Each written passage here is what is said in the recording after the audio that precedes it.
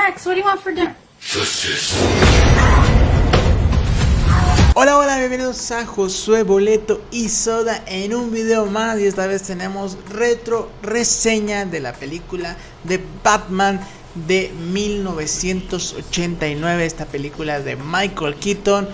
En las encuestas pregunté y varios de ustedes quisieron que siguiéramos trayendo estas retro reseñas. Ya tenía esta sección, ya habíamos hecho esto antes, pero querían más. Entonces ustedes este, mandan en este canal, ustedes son los reyes de este canal, así que traemos reseña. Y qué mejor que con el Batman de Keaton, la primera película de Batman, la de 1989, que la vi ayer, así que tengo fresco lo que pasó con esta cinta, pero antes quiero hacerles una pequeña recomendación les quiero recomendar la tienda de juegos en Neva porque hay mucho que explorar en la tienda de juegos en Neva. Como ven hay juegos de todas las marcas y de todos los géneros.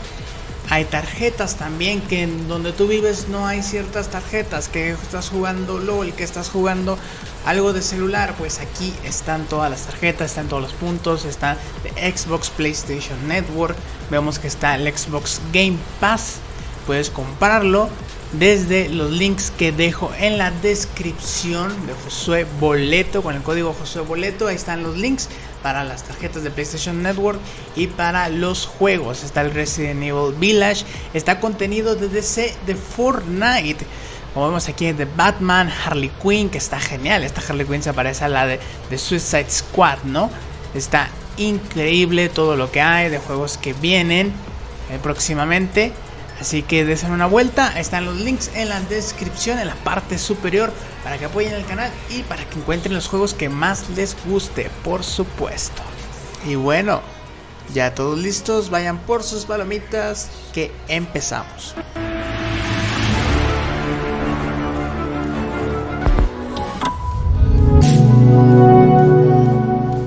Y bueno, tenemos esta película de Batman de 1989, dirigida por Tim Burton, el genio, el loco y que sabe darle un estilo increíble a sus producciones, Tim Burton, y que para mí le queda como anillo al dedo Batman, ¿no? A este hombre.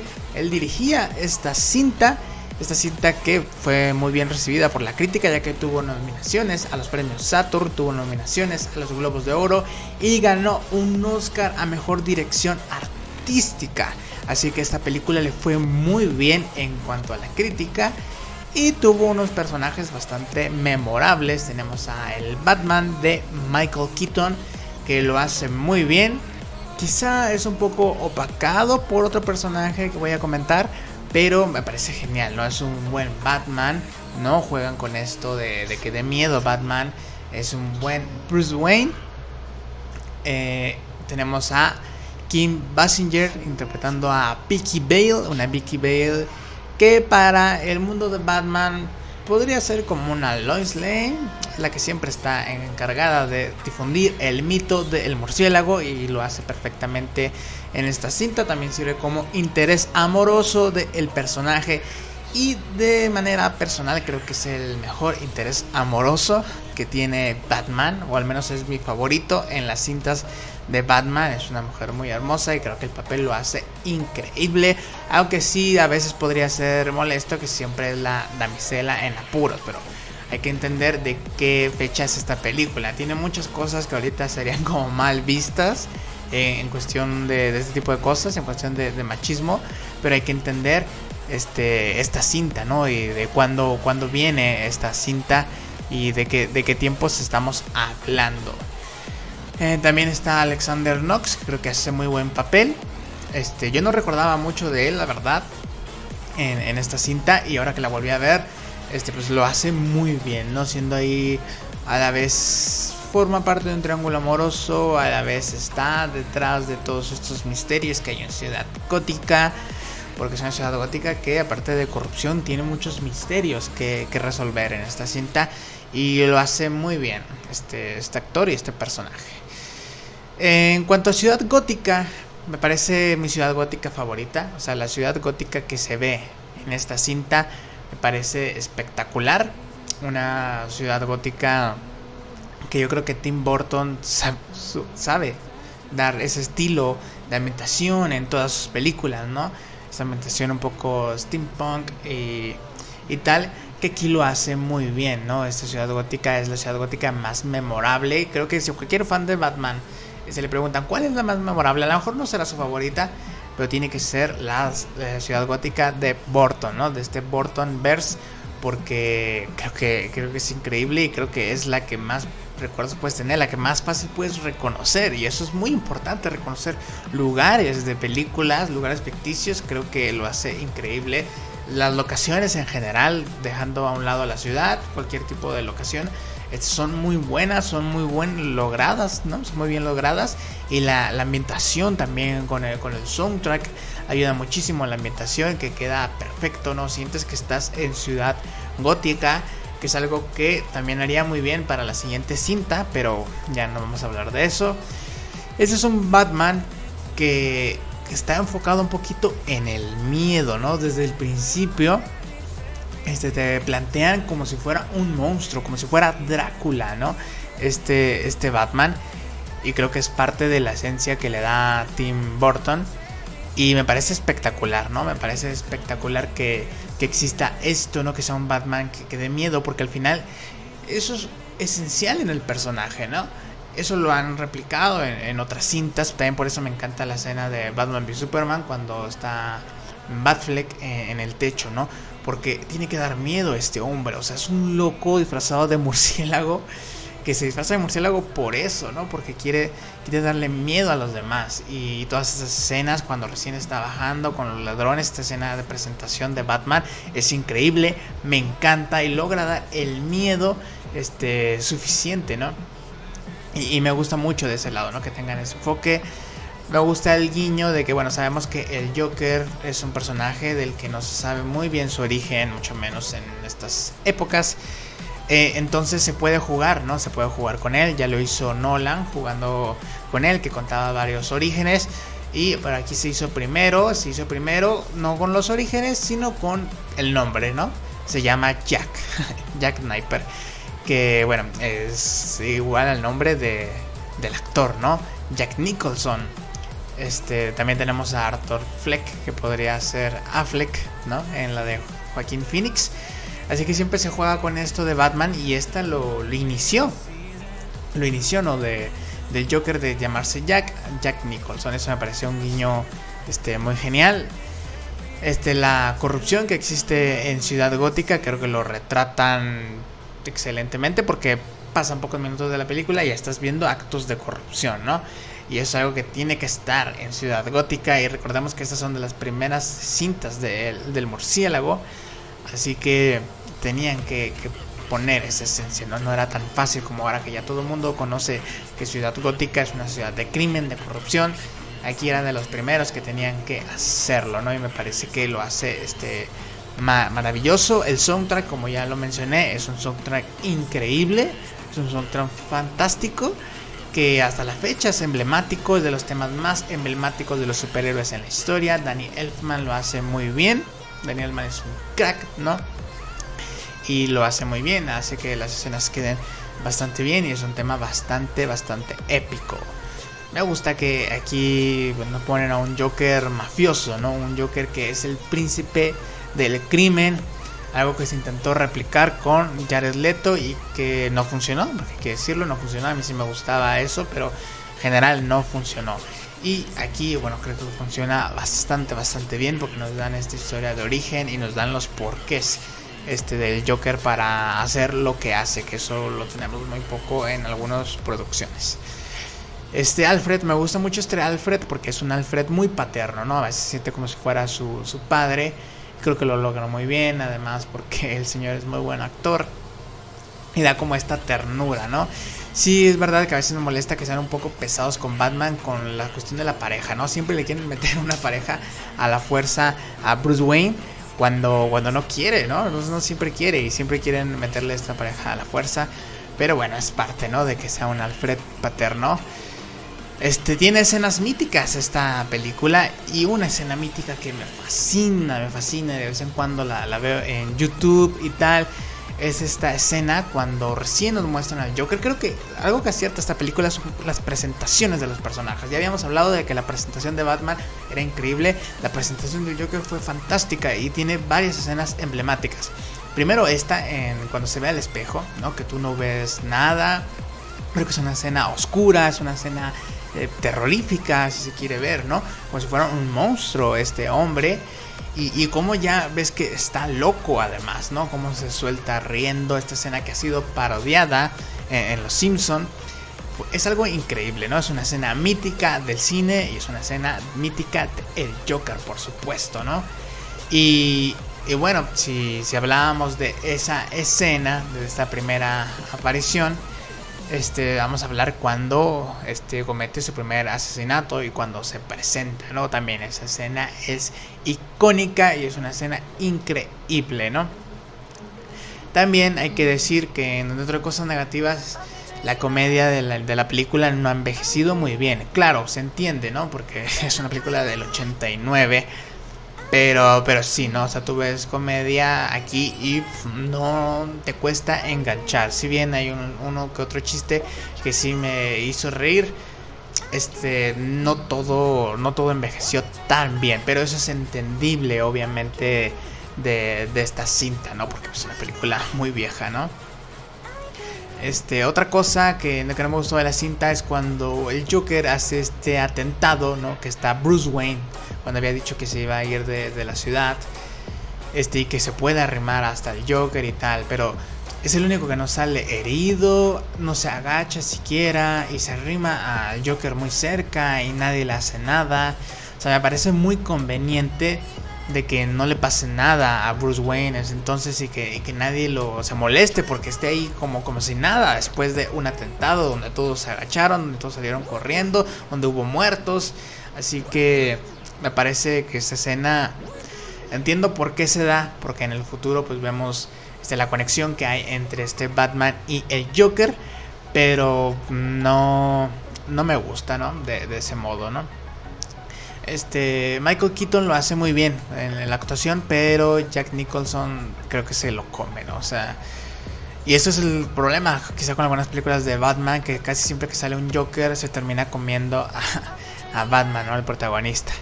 Y lo hace muy bien, sabemos que Michael Keaton es muy buen Batman, pero Jack Nicholson, o sea, los primeros minutos que sale como Joker, cuando sale como Jack Sniper, todo es muy brillante de él. Así que quizá esto haga que el protagonista sientas que no lo hizo tan bien como en realidad lo hizo y puede ser un, problema, ¿no? Este, las escenas de, del baile de Joker eran muy de la época, ¿no? Esta música o tenían estas grabadoras y tal, ¿no? Se siente muy, muy de la época pero que se volvió algo constante, ¿no? Que el Joker hiciera al menos un baile, lo vimos en el Joker de Joaquín Phoenix, que quizá en, el futuro y todas estas escenas de baile, todas estas escenas de música que vemos en la película, como en la película de Shazam, ¿no? Que ya queda muy antiguo el baile y la película de Shazam, este tiene pocos años. Este, y quizá eso, ¿no? Quizá tiene algunas cositas en cuanto a la comedia, en cuanto a la música, en cuanto a los bailes, que si las ve alguien que, no la haya visto en su momento y tal, y quizá batalle para engancharse con, con estas tipo de, de, escenas que se ven, ¿no? El Batimóvil, ¿qué les puedo decir del Batimóvil? Es fantástico el Batimóvil, o sea, el Batimóvil es mi Batimóvil favorito y verlo en acción es un deleite, ¿no? Yo me imagino que la gente que vio esta película en, en aquella época por primera vez, imagino que quedó loca, ¿no? Después de ver este Batimóvil, porque la verdad es que es increíble las escenas que, hay, las escenas de acción que hay con este y cómo se ve, ¿no? Cómo se ve en, las calles de Gótica. Creo que es algo fantástico, que si ahorita es muy disfrutable, que ya hemos visto otros Batimóvil, que ya hemos visto mejores este, escenas, porque pues ha avanzado la tecnología. Este, imagínense las que las vieron en esa época, debió ser algo increíble. Este, me gustan muchas, muchas cosas. Por ejemplo, una frase que, dice el Joker que, que le habla a ella que dice, tendré que estrenar maquillaje. Este, veamos si tú puedes sostener el tuyo. Eso será una frase muy, muy buena de Joker y, que me encanta. Y, y, tiene cositas así memorables, que es lo que decía, ¿no? Este Joker tiene muchas, muchas cosas memorables y esta película en general, ¿no? Que hace que sea que sea una película muy buena y que sea una película que guardamos con mucho cariño y quizá por eso Warner quiere revivir todo este universo, ¿no? Todo el, el Burtonverse. El concepto de que el Joker mate a los padres de, de Bruce Wayne o que sea responsable, es algo que vimos hace poco con el Joker de Joaquín Phoenix, pero que inició aquí y creo que todas las conexiones que tienen estos dos personajes, porque aquí se encargan de construir el, enfrentamiento, ¿no? O sea, crecen por separado totalmente y, y, no, no basta con que, bueno, es criminal y Batman lo tiene que perseguir y por eso tienen que enfrentar. No, Burton y los escritores construyeron muy bien el que se enfrenten, el que choquen entre sí y creo que me parece eso extraordinario, me parece algo realmente muy bueno. También los que se quejan de que, ah, Batman no mata. O sea, en esta película, ¿a cuántos mata Batman? ¿No? Si bien al inicio cuida de no matarlos, ¿no? Porque si los, los sostiene y tal. Desde la escena final, que llega y pone unas bombas y todo, desde ahí empieza a matar y matar y matar criminales, ¿eh? Que no es algo que a mí me moleste, pero ya saben, veo que mucha gente le, le molesta ese tipo de situaciones, pues Batman lo hace desde estas películas, ¿eh? Así que ojito con eso, ¿no? De repente somos muy fanáticos de algo y criticamos otras cosas, pero es de eso que somos fanáticos también hacían esas cosas que criticamos y en su momento no, no, no las criticábamos, así que hay que, hay que checar eso. Eh, otra cosa que mmm, no me gustó tanto, creo que el final de, de, pronto excede lo caricaturesco, ¿no? Que el Joker permite que, que, exista esto, ¿no? Lo hace en los cómics, lo hace en todos lados, lo hace en las caricaturas y lo hace aquí también. Y está bien, ¿no? Porque es una versión distinta del Joker, una versión más Joker de cómic, la que vemos de Jack Nicholson. Pero creo que en la batalla final de repente hay algunas cosas que son muy de caricatura, ¿no? Como cuando saca este esta pistola, ¿no? Y tumba este, la nave de Batman. Es como no no sé, no sé, me parece muy de caricatura, me parece que ya fue un exceso. Este otra cosa también es que cuando Batman tiene que andar subiendo escaleras, que está recién madreado, no no lo vemos usar el clásico gancho y dices, bueno, ya no lo tenía ahí. Pero cuando se salva, ¿no? Usa el gancho al final. Entonces, ¿por qué no lo usaste desde un principio para subir este, las escaleras?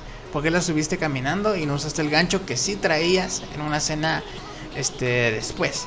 Así que me parece algo raro, ¿no? También la, la chica, esta Bale, que está sostenida nada más con sus brazos, es muy fuerte porque la escena dura un montón de tiempo y ella nada más con sus brazos se sostiene entonces me parece una chica que le metió duro al gym, ¿no? No sé si está tan realista que pudiera aguantar, aguantar tanto. Y bueno, esta película cierra con este, una pose de Batman y la batiseñal que está increíble, ¿no? Que esa es una de las escenas más icónicas de Batman y que bueno, se replicaría en, en muchas, en muchas producciones está inspirada en cómics, así que fue muy muy buena ver esa escena, que también esta escena la primera vez que la vio la gente en el cine, se debió quedar totalmente loca por esto, así que en conclusión es una película de Batman increíble, que en algunas cosas no ha envejecido tan bien, pero que es bastante disfrutable y que los más fanáticos de Batman les va a encantar. Si tuviera que darle una nota le daría un 8.5 o un 9, ¿no? Saben que yo soy un poquito ahí con, con, las notas. Porque este, la verdad es que es una película muy muy buena. Pero que quizá el público actual no la disfrute tanto como se debe de disfrutar esta cinta. Y bueno, si te gustó este video y quieres más retro reseñas, te invito a que dejes tu like, que te suscribas y actives la campanita para que veas todas las retro reseñas que traigamos aquí al canal, toda la información de DC y todas las noticias también. Les dejo el link en la descripción de mi Instagram, de mi Twitter, para que me puedan seguir ahí y también un link para que puedan unirse al canal y apoyarlo y recibir los beneficios desde 19 pesitos también pueden checar el link de la tienda en Neva que pueden darse ahí una vuelta. Y en la caja de comentarios espero ver su opinión sobre esta película, qué tanto les gustó esta cinta y la calificación, ya que siempre es bueno estar checando otras opiniones, las estaré respondiendo, así que mucho gusto, gracias por estar aquí y adiós.